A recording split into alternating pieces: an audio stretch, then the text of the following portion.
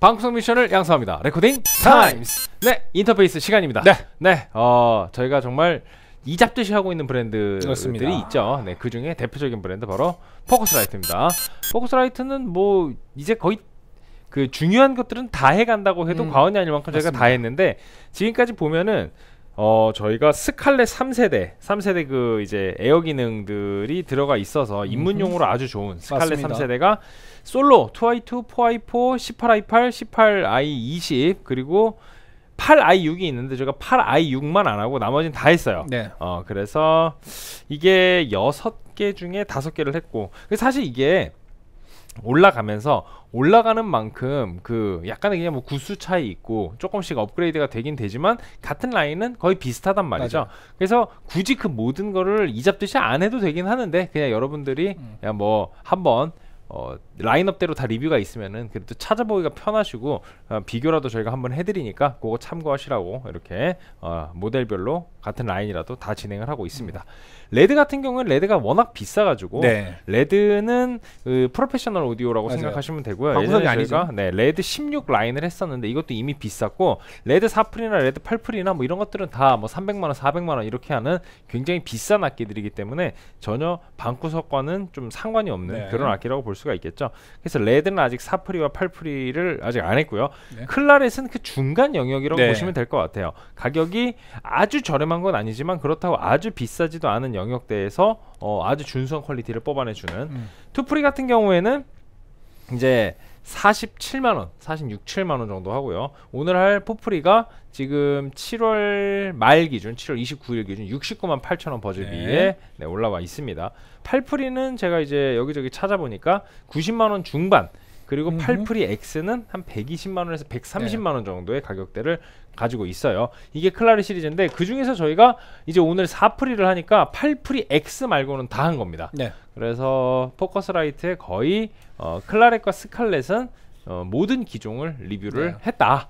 어, 이게 에어 기능에 대해서 제가 워낙 많이 말씀을 드리고 또 시연을 많이 드려갖고 이제 여러분들 잘 알고 계시겠지만 네, 뭐 그냥. 외관 한번 보고 네. 구수 한번 보고 그냥 이런 걸로 보시면 될 것 같습니다. 네. 이게 우리한테 있어서 제가 가장 추천드리고 싶은 기타리스트들한테 기타를 어, 일렉 기타까지 치시는 분들 그리고 음. miking 하시는 분들 이 정도가 딱 좋습니다. 끝났죠? 이렇게 놓으면은 네 착, 여기다가 착, 착, 착. 네 dynamic condenser 그 다음에 effector 두 개 스테레오 그렇습니다. 이러면 딱 끝입니다. 더 이상 꽂을 것도 없어요. 우리가 지금 뭐 8구짜리 쓰고 있지만 뭐 건반을 신 synth를 사용해 갖고 synth까지 뭐 넣어가지고 뭐 음. 여섯 개의 input을 쓴다 그러면은 그건 좋지만 음. 요새는 뭐 synth를 그렇게까지 내장 음원을 활용하는 경우가 많지 않고 맞아요. 마스터 건반으로 많이 쓰잖아요. 맞아요. 그래서 이제는 synth를 저도 원래 예전에 그 Roland 거를 썼었는데 Roland 그거는 늘 이제 스테레오로 input을 꽂아놨었는데 지금은 제가 그거를 그 저기로 바꿨거든요. 그그 Komplete Kontrol로 바꿨어요. 그 Kontakt 전용 음. 그걸로 바꾸고 마스터 건반이 되니까 내장 음원이 없어갖고 8 채널인데도 어 8 in인데도 input 그냥 4개 쓰고 더 이상 음. 뭐 꽂을 일이 거의 맞아요. 없더라고요. 예.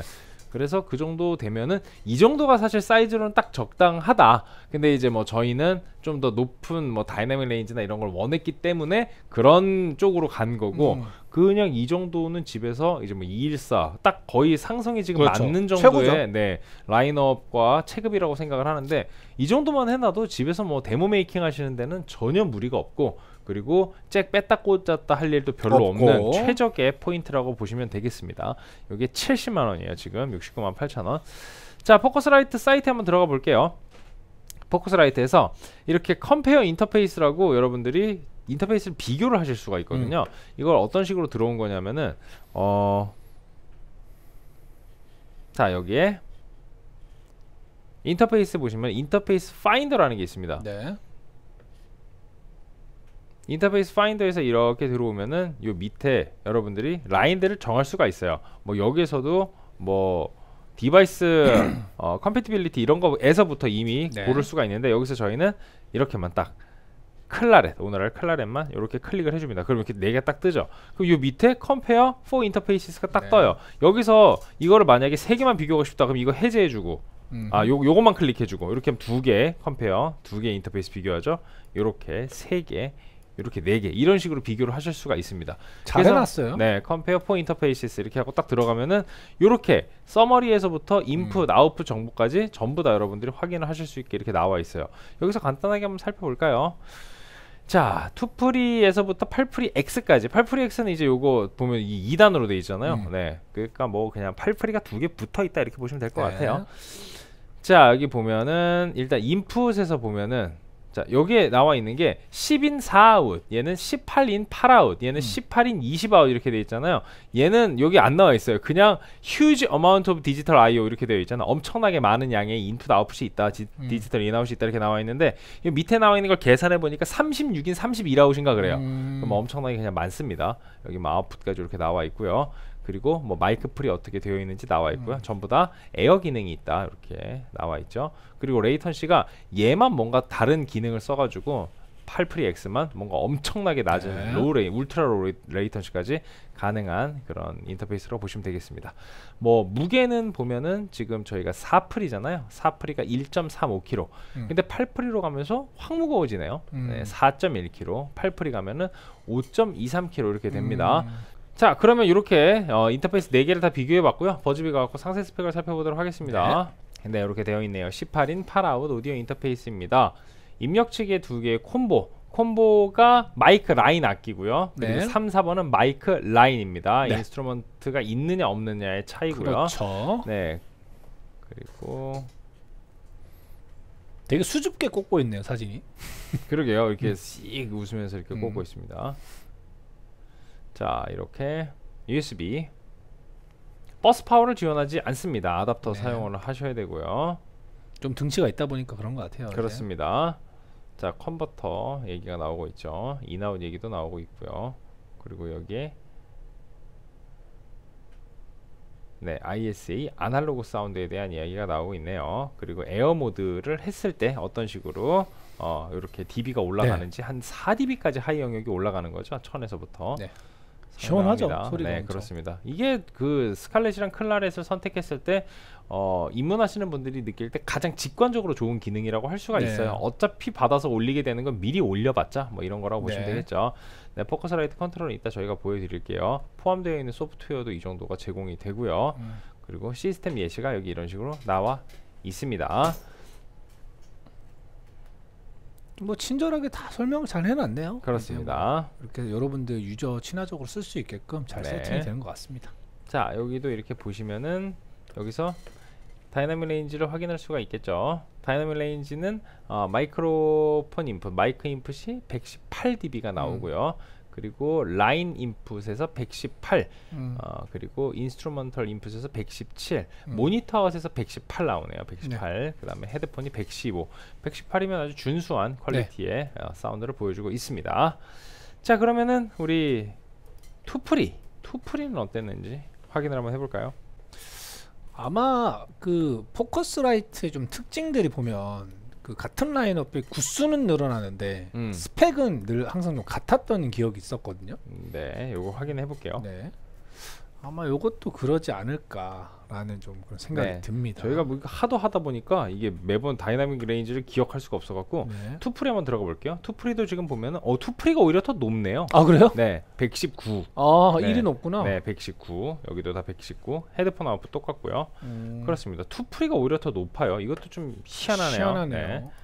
네. 거의 뭐 그냥 동일하다고 네네. 보시면 되겠죠. 이 정도 차이는. 뭐 그다음에 1차이니까요. 네, 이 밑에 8 pre. 8 pre 한번 가서 볼게요. 지금 네. 8 pre 현재 버즈비에서 94만 8천 원입니다. 8 pre X는 지금 버즈비에 현재 설명이 없습니다. 안 나와 있네요. 자, 보면은 그러게요. 오히려 어, 나 떨어졌네. 어, 떨어졌어요. 117이네. 오히려 117. instrumental이 117.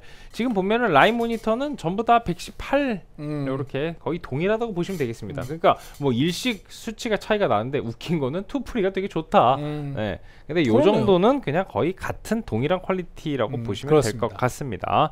자, 이렇게 해서 약간씩의 차이는 있으나 그냥 어, 동일한 퀄리티의 엔진의 그냥 구수 차이라고 그 정도까지다. 보시면 되겠습니다. 자, 오늘 사 pre 이렇게 쭉 스펙을 살펴봤고 외관도 한번 살펴보고 올게요. 네. 자, Focusrite의 four pre입니다. 자 이렇게 멀티 인풋 4개가 있는데 네 이쪽 두 개랑 이쪽 두개 보시면 다르죠? 여기는 inst라고 써있는데 여기 inst라고 안 써있잖아요 3, 4번에는 음. 그래서 얘는 마이크 라인 instrument가 되고 얘는 마이크 라인. 라인. 이 되는 네 멀티 인풋입니다 그래서 용도별로 잘 꽂아 쓰시고요 여기 48V phantom power가 여기 나와 있는 거 요게 꾹 누르면 이렇게 들어간 상태가 on된 있는 상태고요 각각의 인풋 어, 볼륨량 조절하실 수가 있습니다 모니터 그리고 이쪽에 이제 불 들어오는 음흠. 여기 녹색 불들 이제 들어오고요. 각각의 헤드폰 볼륨 조절하실 네. 수가 있습니다. 그리고 옆면, 깔끔하죠. 밑면 깔끔하죠. 깔끔해요. 네, 패킹 있고요. 그리고 뒤쪽에 보시면은 라인 아웃 1, 2, 3, 4, 라인 인풋 네, 5, 6, 7, 8. 라인 인풋은 앞에 1, 2, 3, 4가 있었죠. 네. 여기 5, 6, 7, 8입니다. 그 다음에 optical input 미디 in out 있고요. 네. 켄싱턴 lock과 그리고 저 USB 꼽는 곳 음흠. 어 이거는 bus power가 안 돼요. 네, bus power가 안 되기 파워 때문에 네. 아답터 넣으셔야 되고요. 자, 여기 전원 어, 버튼과 SPDIF 인아웃이 있습니다. 네. 끝. 네 외관 이렇게 보고 왔습니다. 좀 든든하게 생겼어요. 맞아요. 뭐랄까 생긴 걸로만 보면은 외관으로만 보면 한 100만 원을 할 것 같은 정도. 느낌의 그런 안정감과 physical이 있는데 생각보다는 가격이 저렴하게 나와 네. 있는 4채널짜리 인터페이스다. 저는 이게 아까도 말씀드렸던 것처럼 그냥 어, 악기 적당히 갖고 계시는 분들에게 딱인 사이즈가 음. 바로 이렇게 multi input 4개짜리 인터페이스라고 생각을 하거든요. 맞아요. 이거를 저는 가장 추천드리고 싶네요. 자 이렇게 어, 쭉 외관을 살펴봤고 그러면 바로 연결이 잘 되었는지 확인을 해보도록 하겠습니다. 지금 이렇게 Cubase 연결을 해놨고요. 저희 device setup에서 이렇게 보면은 오디오 인터페이스 워낙 많이 깔려 있어 가지고 네. 지금 뭐 으다다다다다 장난 아니죠. 여기에 Focusrite USB ASIO 이렇게 돼 있는 걸 음. 선택을 하시면 됩니다. 그렇게 선택을 하시면은 이런 식으로 어, 설정이 되어 있는 걸 보실 수가 있고요. Focusrite 이렇게 들어가서 보시면은 현재 네 설정 누르면은 이런 식으로 열리고요. 그 다음에 뭐 edit, help 이런 식으로 구성이 되어 있습니다. routing도 input 세팅에서부터 output routing까지 다 정리를 하실 수가 있고요. 지금 sample rate 48로 설정이 되어 있는 상태고 192까지 지원이 당연히 됩니다. 네 그리고 output routing 한번 볼까요? 자 뭐 아웃풋 어떻게 되어 있는지 그리고 뭐 하드웨어 input 어떤 식으로 들어가 있는지 확인하실 수가 있고요. input 세팅에서 저는 air를 기본적으로 켜놨는데 네. 에어는 그냥 여러분들 거의 켜두세요. 켜고 네. 쓰시는 게 지금 네. 여기 보면 딸깍 네, 딸깍하고 에어 들어오는 소리 들리시죠? 네. 딸깍 딸깍 에어 다 켜졌습니다. 자 이렇게 에어 켜서 사용을 하시면 되겠고요. 그럼 바로 연결이 잘 됐는지 확인을 해보도록 할게요. 자 그러면 미디 한번 확인해 보도록 하겠습니다. 네. 피아노 하나 불러놨고요. 음, 잘 들어가죠? 네, 좋습니다. 자 마이크 확인해 볼게요. 네 녹음 한번 해볼게요. 네가 왜 거기서 나와? 네 잘 들어갑니다. 네. 자 이렇게까지 저희가 어, 녹음 준비를 다 해봤고요. 다음 시간에 이제 실전편으로 실제 녹음을 해서 뭐 지금까지와 똑같은 느낌이겠지만 그냥 우리가 이제 Focusrite 이일사 껴서 들으면 아 이 소리 그냥 맞아요. 이런 소리가 나올 거예요. 약간 정석이죠. 그렇습니다. 그냥 뭐 이제는 여러분들도 다 아시는 거겠지만 그냥 우리 뭐 시연은 또 재밌자고 하는 거니까 네네. 네 다음 시간에 2부에서 어, 4 Pre의 사운드 어떤 식으로 나오는지 확인을 하는 시간을 갖도록 하겠습니다. 네, 방구석 뮤지션을 양성합니다. 레코딩 타임스